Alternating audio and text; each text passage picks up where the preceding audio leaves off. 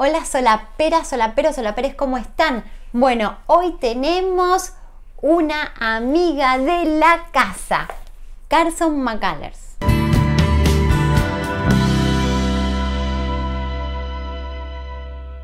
Bueno, nuestra amiga Carson McCullers. Por Carson McCullers nos, nos conocimos con Nati, así que la amamos. la en amamos. realidad nos conocemos por Dorothy Parker. Dorothy, es verdad. Ojo al piojo, Es ¿eh? verdad. Pero, pero la primera actividad grande, importante, así que hicimos juntas fue Carson McCullers. Con Carson, claro, cuando se cumplieron los 100 años, ¿te acordás de su, de su muerte y 50 del nacimiento? Sí. Bueno, eh, Carson McCullers, no sé, no necesita mucha presentación, Ah. gran autora Si no la norteamericana. leyeron, tienen que leerla porque es imperdible. una representante del gótico sureño de los Estados Unidos eh, y que maneja muy bien, eh, para mí, todo lo que es la influencia de los rusos, ¿no? En la literatura norteamericana. Esta manera de contar cruda, ¿no? Sin, sin hacer este, ningún tipo de introducción. Eh, bueno, en este, pero en esta ocasión, ¿por qué elegimos esta novelita de Carson McCullers con Nati? Porque esta novela no es muy conocida.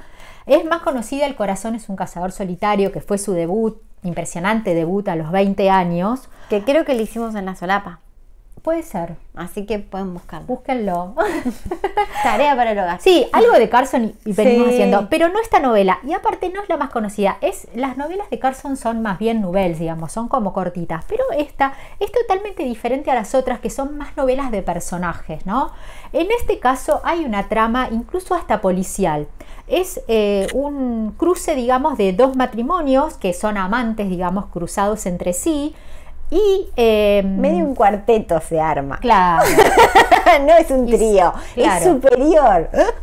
Bueno, porque Contá además, por qué. Claro, porque además está en juego un, porque todo transcurre en un espacio cerrado, en un microcosmos muy particular, que es un barrio militar. ¿sí?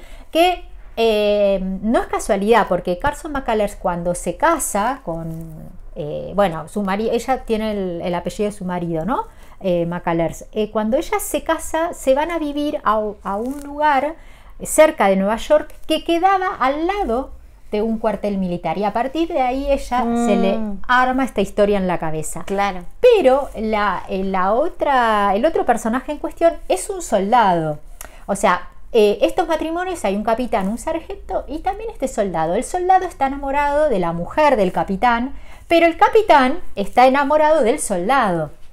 Piensen que esta novela está escrita a principios de 1900, con lo cual Carson introduce el tema de la homosexualidad de una manera muy sutil, ¿no? Eh, pero bueno, Sin nombrarla, ¿no? Sí, o sea, sí, con signos, ¿no? Con escenas, con miradas, con signos. muy, muy, muy, este, muy sutil y, eh, y, y además, eh, digo, hay que pensar en, en el año, ¿no? En que Claro. esto está escrito. Vos sabés que Carson, hay una anécdota que a mí me encanta para que tengan idea de la cabeza de esta mujer. Cuando ella se casa, que tenía también alrededor de 20 años, le dice a los padres que antes de casarse va a tener una noche de sexo con su futuro marido, Ajá. que ella necesita saber si es compatible sexualmente con su marido, porque el matrimonio es una promesa y ella no quiere prometer nada sin estar segura.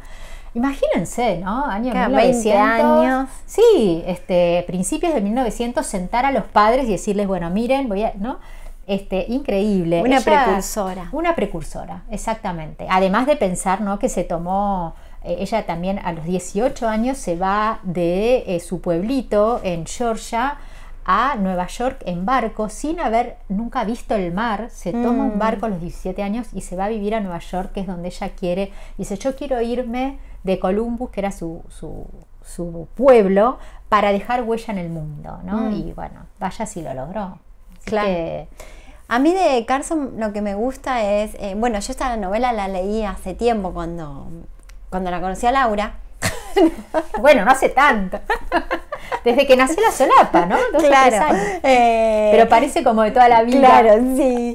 Eh, bueno, pero, o sea, no, no, no tengo como recuerdos así muy nítidos, pero mm, eh, la escritura de Carson a mí lo que me gusta es como que hay algo que habla siempre de fondo, digamos, como que siempre te deja un, un, no sé, como no es un mensaje, pero como que los personajes hablan de por sí, las escenas, no sé, como por ejemplo el, el libro este de- del mudo, ¿cómo, ¿cómo se llama? ¿Cuál? Ese El es el corazón del es un corazón cazador solitario, sí, Bueno, de ¿no? Singer, Donde el mudo. es esto, me parece que eso representa la escritura de Carson, donde hay el personaje, el protagonista, digamos, el personaje principal de esa novela es mudo y eso es lo que hace hablar a todos los personajes. Me parece como que eso es como la impronta de Carson McCullers, como que, como que hay algo en su escritura que todo el tiempo, ¿no? Eh, Sí, bueno. hace hablar a los personajes y dice mucho más de lo que dice. Exacto. Digamos, entonces eso me parece que es como la clave de, de Carson, Total, digamos. total. Eh, que no es la novela, que es un tri, un cuarto, no sé, ¿no? Sí. Digamos, porque bueno, después están amantes, digamos, de los dos matrimonios estos,